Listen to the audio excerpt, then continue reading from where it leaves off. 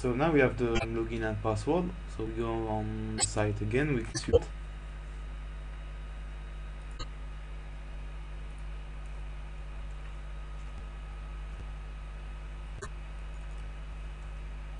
so we click go to support section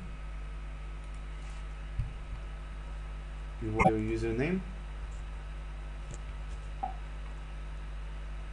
Your password.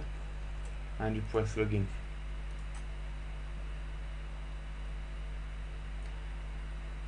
so now to download the drivers for the box.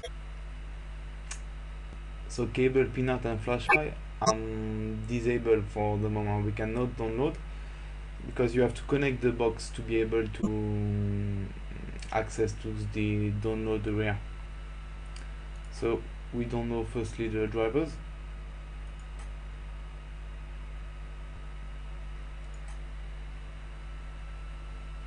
so there is two drivers. There is FTDI drivers and smart card drivers we have to download the two files.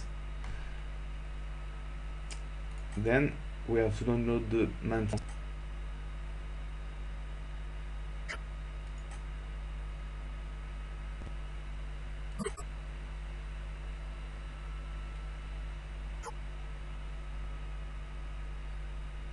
This one so now when you have downloaded the, um, the maintenance tool you have to connect the box and uh, install the drivers. Then you can start the maintenance software.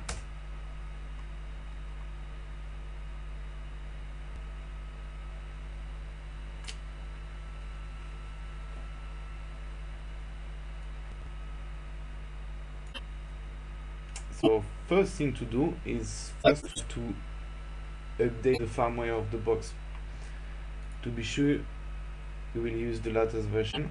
So you click firmware update and execute action. You have to be connected on on net of course to be able to connect our server and grab your box. And also we have to get the license file. So you get license and execute action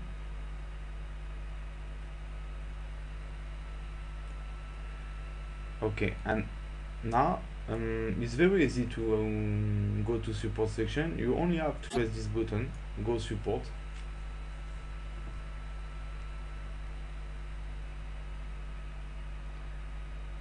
You can click download again